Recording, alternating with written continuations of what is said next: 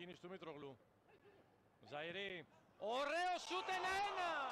Εκπληκτικό γκολ του Ζαϊρή στο 67 Ολυμπιακός σοκάρει. Ασύλληπτο βολέα από τον Ζαουά Τζαϊρή. Ό,τι επιχείρησε νωρίτερα και ο Μήτρογλου. Καταπληκτικό γκολ. Εδώ ο Στράουμπερ δεν έχει άλλη επιλογή από το να μαζέψει την μπάλα από τα δίκτυα του. Η ιδανική εκτέλεση σε κοντρόλ γύρισμα για